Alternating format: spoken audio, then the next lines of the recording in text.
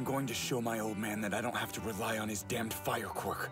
But the thing is, he showed so much more than that. But it's kind of weird because his father's gonna lord this over him. Look at me, Todoroki. Speaking of You haven't managed to put a showing a lot. So come Deku. with all you've got. I feel like this was a big, big moment for Deku, uh, like a huge turning point. I want to live up to people's expectations. Yeah, it's it's so funny because he's like way, way exceeding expectations here. He exceeded my expectations at least. It's. Such a great line. I wanted to. That sums it up really nicely. Thank you. Yeah, that was a great gift that Midoriya gave to Todoroki. One thing I'm not sure I, I fully picked up on last episode is how deliberate this was from Deku. Like, it seems like Deku is, is actually, I wouldn't say prepared to lose because he wants to win, right? But his goal is actually to help Todoroki through this. And they've been building to this through the other episodes where, like, Todoroki declared them as rivals and also spilled his guts about his childhood and basically begged for Deku to love him. also built up is the fact that Midoriya is sensitive and cares and has to balance this thing between like wanting to win and being a very kind-hearted person. That was sort of All Might's worry for him early on in the tournament. But interestingly, I feel like Deku does such a great job kind of doing both. Like he's not backing down. In fact, he realizes that the greatest gift he can give to Todoroki is pushing him to his limit to rise to the challenge. It's not pity, it's not like looking down on Todoroki. He's not patronizing him, he's bringing the best out of him while also trying to be his own best, which I think is such a beautiful thing. And the only lingering weirdness is that Endeavor sees this as a victory, and I feel like for Todoroki, that's sort of a hard thing to stomach. Midoriya is out of bounds. But did he really lose, Todoroki or is this a fake out? We'll have to wait till after the, after the intro, I guess. So Midoriya was eliminated in the quarter. He really was. Wow, respect. That's so cool. It almost seemed like he was happy to lose. Either way, they were both crazy strong. Everyone won that Sure, day. you can't be a good pro if you get injured every time you use your quirk. that is true. Even though it hurt him, the kid's got spirit. That's an understatement. Power during the cavalry battle, I wonder. Bakugo just listening on. But that'll motivate Bakugo too. Man, this class really is special. But I'm glad you're finally seeing reason. Now that you've abandoned your childish rebellion, we can get back to what's important. He's he's so so warm. After you graduate, you'll work by my side. Uh, I'll lead you down the path of the mighty Shoto. he's just not he's not getting it. For that one moment, I forgot all about you. That's the worst thing you could ever say to someone like Endeavor. To be forgotten. I don't know. Maybe I don't need you. I don't know. Seems like you don't. Fight on Iida. Yeah, it's Iida's round. I'm afraid it'll never be the same as it was before. This is crazy. He's like already going down the All Might route, and he's like 11 years old. Look at what he's done to make you proud. Yeah, this has to be addressed. I'm kind of glad she's bringing it up. This can't go You're on. going too far. You Yeah, hear? yeah. You and the boy. Don't praise him for what he's done today. It's nice to meet you, sir. yeah. They don't. They don't realize. All right. Well, that explains a lot. Will this wounds Don't be worry, healed? just leave me to it. Where do you go from here? If you're All Might and Deku, I'm sorry. stop. I couldn't Stop it. what you asked of me. Stop. I'm gonna stop you right there, Deku. There's nothing he, he didn't do. He did way too much. Way too much. I do feel like this is sort of a critical moment for All Might. All Might is such a tricky case, like, I'm still wrapping my mind around it. I talked a lot earlier in the show about how I feel like All Might's thing is unhealthy. Yet, I can't blame him. I, I can't take anything against the guy because that willingness to sacrifice, I think, at heart is a beautiful thing and a wonderful thing. Fully thinking it through, I think because he's so great, the world is better with him, and so him, you know, destroying himself is a major loss for the world and so it would be better if he found a way to, to balance it.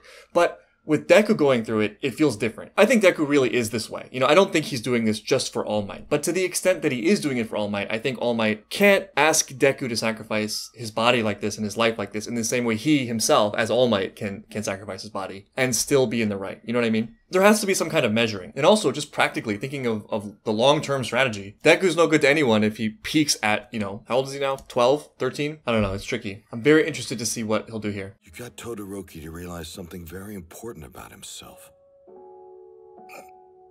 I guess so.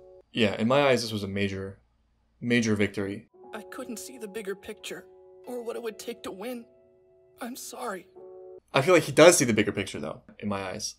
Meddling where you don't technically have to is the essence of being a hero. All right, so I think his phrasing maybe was not the best, but I think the idea matches my sentiment somewhat. Like, Deku saw something right in front of him with someone he knows who's a friend that was a problem he could do something about without without actually meddling. You know, like all Deku did was his best in the tournament and that ended up being a good for Todoroki. And to me, for reasons I can't quite put my finger on, that feels more grounded as as a goal than like proving yourself to the world in a tournament, right? Like Todoroki is a real person who Deku knows who like confessed his feelings. Doesn't that have on some level more direct meaning and value? Wouldn't ignoring that on some level be like a little bit cold and non-heroic. It would be different, I think, if Deku did something dishonest to sort of push Todoroki through it, or like take a dive or something like that, right? But no, he actually did something amazing and like pushed himself to the limits, and in doing so, brought everyone up. Maybe I'm wrong, but it feels to me like All Might is a little bit torn himself, and I guess that's sort of what I'm hoping for because you got to look at this and wonder what your actual goal here is, right? I'm like kind of curious to see. Oh yeah, it's her. No, Iida's gonna lose. Wait, what was my bracket again? I bet on Iida, didn't I? I did, I did. Well, that was fast. So much for the vine slowing him down. Alright, well, I got one win. Feels like a hollow victory now after Deku losing. Oh well. Oh yeah, and I think I went with Tokoyami too, right? It's gonna be so terrible if, like, I get everything right except for Deku. No, that's not gonna do it. That is not gonna do it.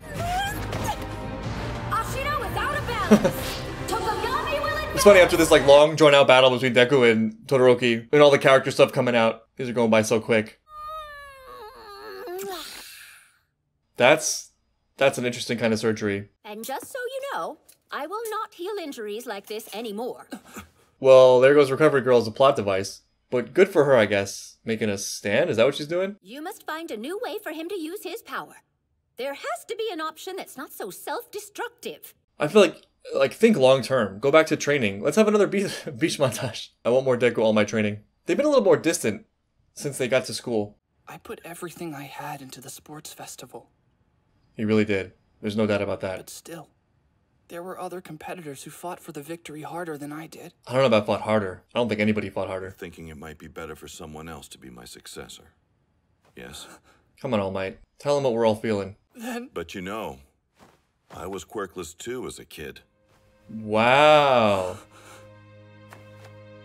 Amazing. Back then, it wasn't as rare of a thing. Right, right. It's a generational thing, right? I had someone who believed in my potential. My master gave me one for all and raised I mean, me to. I want to see more of this guy. I'm curious about his, his backstory. But kid, you've gone beyond my expectations. There we go. There it is. That's what I've been waiting for. One day you're gonna do incredible things with one for all. Yes. But just not yet.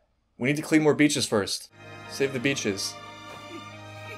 I want a beach montage so bad. Please. That was so great. I need more. Get out there. You don't want to miss the end. right. Now you get to enjoy as a spectator at least. I mean, there's no doubt he made an impression. Like anybody watching that, the whole world watches it, right? If his goal was to show his his power and his drive and determination, who wasn't struck by that? Honestly, you don't need to win necessarily. And there's still villains attacking any any moment now, any day now. Hey, are you there, Tensei? It's Tenya. I am currently on a mission and cannot answer the phone. I wonder if he was hoping his brother would be watching the tournament. 'Cause Iida cares so deeply about his family and what they think of him, living up to their their expectations, which are really his own expectations. But It's him. I found you, he does look really cool. hero killer. Hero killer. Ah! Yeah, Bakugo's got this one. Nice try, but that's not Oh. gonna work on me, explosion boy. Kirishima! Go straight for his chin! I chin! love they're best friends now. Best friends. Iida and Tokoyami finished their matches already. I wish I could have seen them fight. Nobody was there to cheer on Iida. Kacchan's on? I don't know. It always cracks me up when like their strategy just goes to punching, punching and uppercuts. What happened when Gun Guy was in the tournament? That must have been a really short, short game. Isn't Ingenium excited that you've blown through the bracket? He must be so proud of his little brother. Oh no, salt in the Not wounds. sure. I called him earlier, but he was working. It's for the best. When we do Oh. talk, maybe I'll get to tell him that I won. Damn, he loves him so much.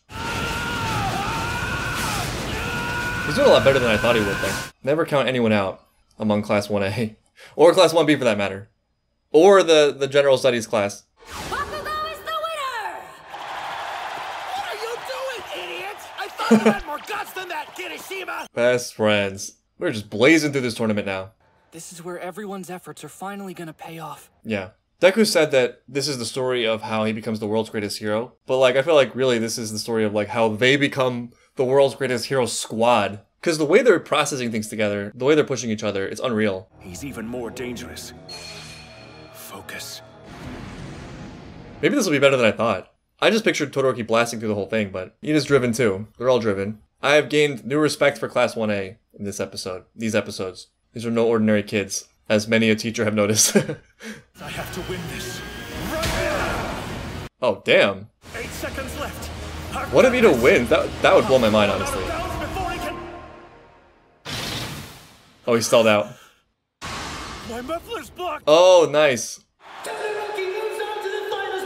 My new bracket. My second bracket. My loser bracket. Still intact. Fame.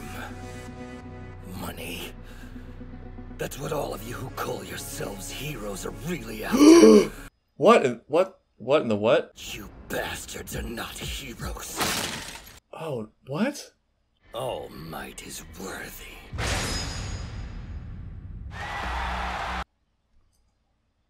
Just another fun, bright episode of My Hero Academia, where nothing nothing goes wrong. Nothing ever can go wrong. Who is this villain? I was half expecting the villain in this arc to still be Shigaraki, although he could still make an appearance. Interestingly, what I think this is getting at is he's hinting at some of the problems that are, are kind of apparent with heroes, like this duality between their heroic elements, like their actual human heroic elements, and their career oriented focus. Doing anything to get to the top, caring more about image and status. So I'm interested to see where this goes. I feel like it could be good. Anyway, back to the fun tournament. That thing is so damn annoying. Die, loser! Does the light affect the shadow's power at all? Dark Shadow. The fire. Can't go on the offensive because of all the light. Right, right, right. Stun grenade!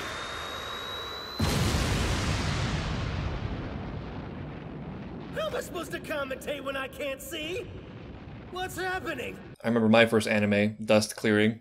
It was a pretty bad matchup for you. I almost feel bad. Oh, Dark Shadow's crying. Bakugo's the winner of this match! so that means Bakugo Todoroki, right? That's a good match. It doesn't matter who wins or loses. These first years are amazing. Yeah, Draft is gonna yeah. be so insane this year. Yeah. I feel like they could all get hired right now. I'll have to take notes for next time. Iida. Iida's happy disposition hurts me in light of what we saw. It's your brother. He's okay, A villain got Tensei. but he's fine now. He's making a full recovery thanks to. Oh, God. You haven't even noticed it, have you? This warped society mired by hypocrisy. Oh, I've noticed it. Some of us have noticed it. You will see the world that you've created. Oh, okay. Please remain calm. Oh, so this is the. Yeah, this is the connection. I think you'll be interested in what I have to offer. We have an organization with a terrible name. Hero killer. Stain. Yeah, so it is still Shigaraki. That's the thing, man. The heroes grow stronger, but so do the villains.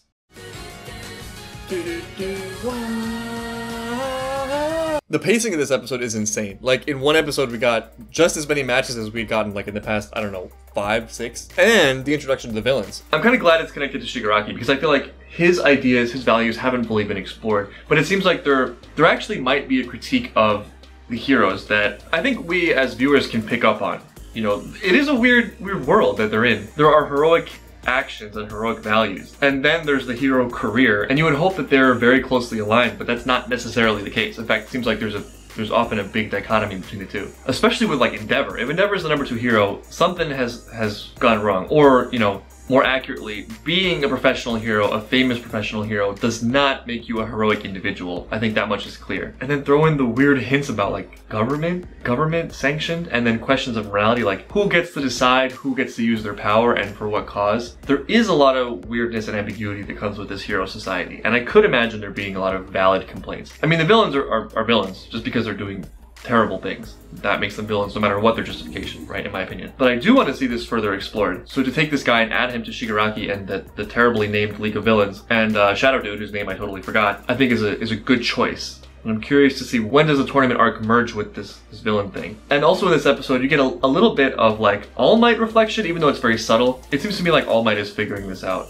himself as well. Like I've said before, you know, the beauty of their relationship, All Might and Deku, is that they are both learning from each other, and All Might's definitely the master, Deku's definitely the student. But there's a certain level in which they're peers, if that makes sense. And All Might is still very much learning. He has an arc himself, and so this episode feels like a bit of a reflection. His his reveal that he was born quirkless, I think, is great. It's really cool. It brings them even closer together. So a very packed episode overall. So I'm guessing the next episode might be the final round already. We sort of just zoom through the the whole rest of the tournament, and I guess now, or if not, shortly after the tournament, we'll take all these characters that we've now built up and got attached to and throw them into like peril, which is kind of cool and very exciting. So yeah, I'll see you next time for what I think will be the, the epic matchup where I predict the Bakugo win.